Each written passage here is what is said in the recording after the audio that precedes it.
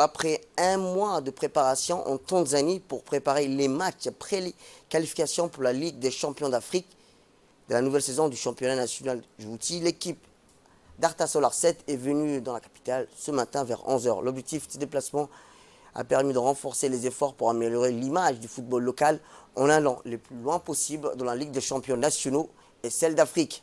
Le club Arta Solar 7 veut permettre au top avant l'expédition africaine qui débutera en septembre. Le club a joué plusieurs matchs amicaux contre des équipes locales, comme le club tanzanien, afin de se préparer mentalement et physiquement.